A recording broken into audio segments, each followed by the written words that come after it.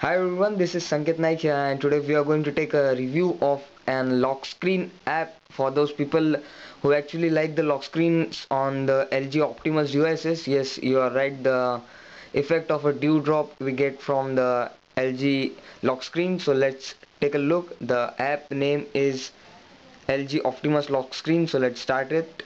This is the first option, enable LG Optimus lock screen. We have to keep it enabled you have got three effects in this. The first one is the dewdrop which is the main highlight of this lock screen app. So let me show you over here.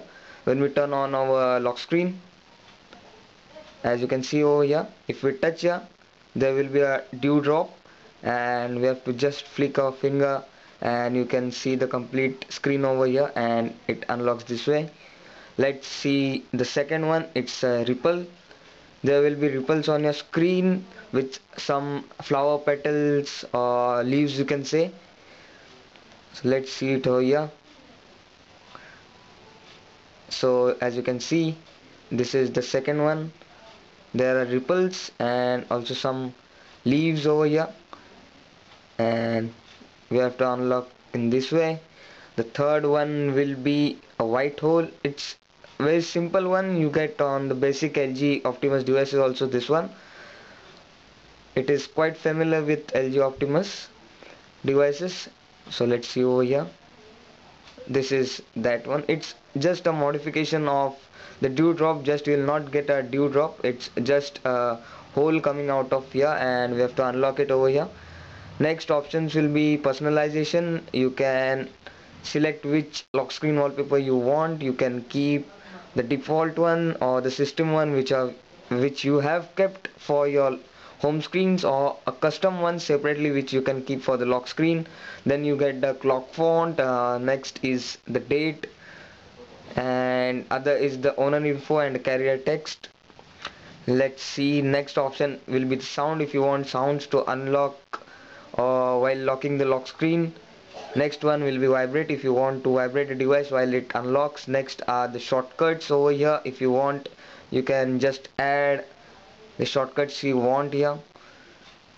Next will be the status bar. You can hide it. And currently it will not be transparent. It will be only transparent if you have got android 4.4 KitKat next will be disable system lock screen. If you go in this and force disable your system locker the default lock screen on your device like as I've got my Galaxy device so the Galaxy lock screen will be forcefully disabled. If you don't enable this option when you enable this lock screen of the app the second will be the behind it which will be the default one and hence you will have to unlock two lock screens if you want to unlock your device. So better is that if you disable this one next one will be the lock home. You have to completely lock your home and choose a preferred launcher.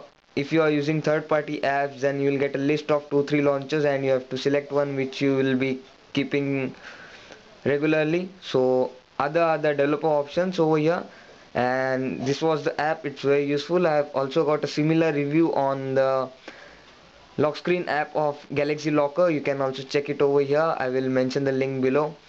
And this was the app for you all guys. So don't forget to subscribe and keep watching my channel. And if you got any doubts please mention in the comments.